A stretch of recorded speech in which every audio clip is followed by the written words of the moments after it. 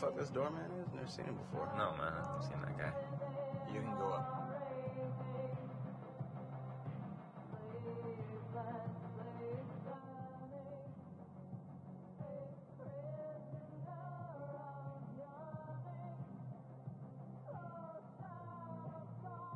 Hey, Johnny. Hey.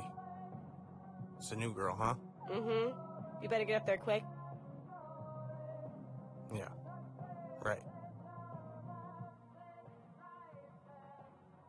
Glad you can make it. Did I say you can fucking sit down? John, have a seat.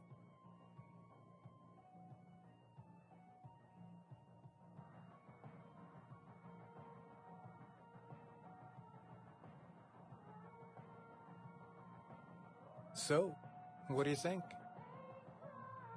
What do I think about what? Those hoochie chicks that just left. Oh, Dominic, damn, bro.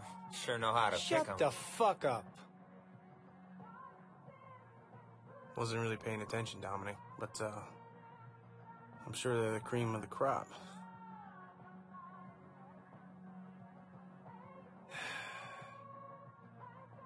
It doesn't feel like you're paying attention to a lot anymore, Johnny boy. Oh no, pretty attentive, but uh, I mean, if you want our jobs to be uh, scouting for your next underground porn star, I'm sure we could work something out. And what is your job?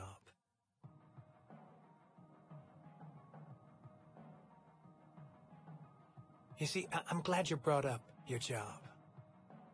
I like to think of what we do here as a, uh, as a small independent business. And what I do here is hire independent contractors. For a while, this little thing we got going, it's been going well. Contractors, you, Douglas, you've been making money, I've been making money. Everything is where it needs to be, in its right place. Yeah, sure. Yeah, it's it's been good.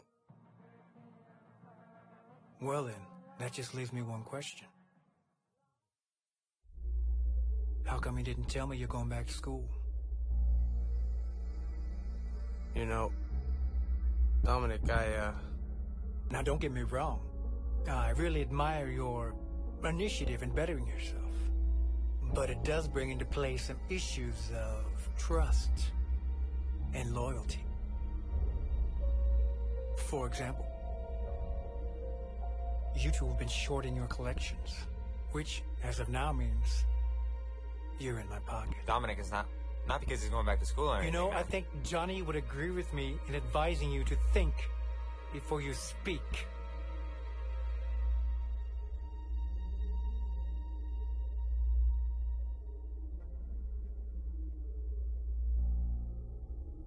I really didn't understand, John.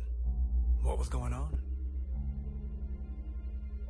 I didn't think you gone soft on me. Not after everything you've done for me.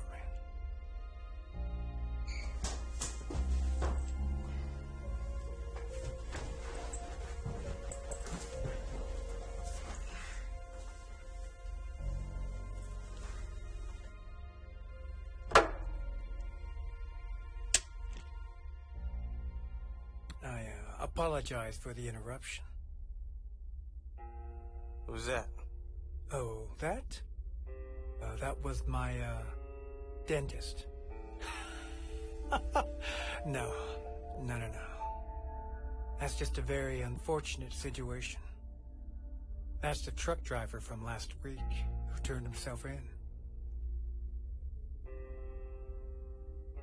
We, uh, cut up to him when he's out on bail. We, uh, can't afford a trial on account of a uh, miscommunication issue. A shame it had to come to this. I hear he's back in school trying to better himself. Back in school. Oh, yeah. He lives up in Seattle, and apparently he rolled himself into a little community college and needs some extra money. So, uh, he drives trucks on the weekends. But anyway, back to what I was saying.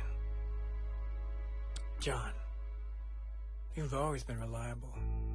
You and that fucking idiot dog. But you lied to me. You made me second guess myself when it comes to you. But now I know what's going on. So, here's what I'm gonna do for you. You and Dougie missed your last collections. That cost me time and money. Gone soft, in school, whatever. So from now on, to make up for lost money, the truck from last week, the house you missed today, I'm going to start taking 10% off of your end.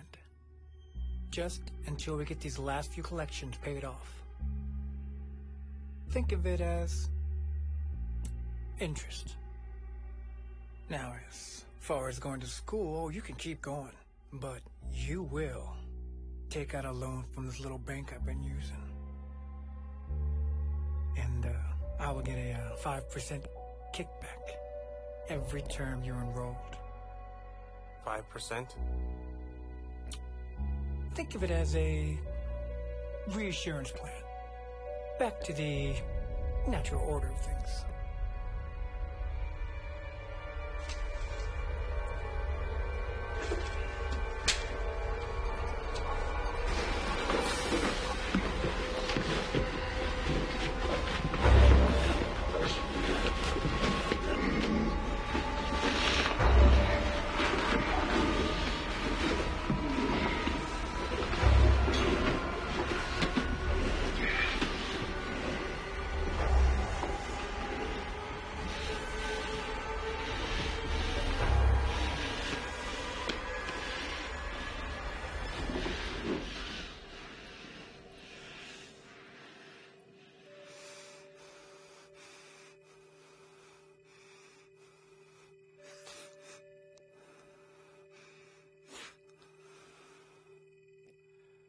I don't go fucking soft.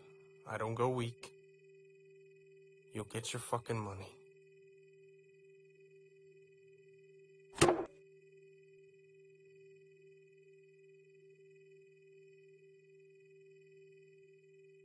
I never doubted you would, Johnny boy. I understand the urge to go back to school. All this economic scare in the news, wanting more. I know, believe me. But just remember, though, what we do here is recession proof. There will always be money.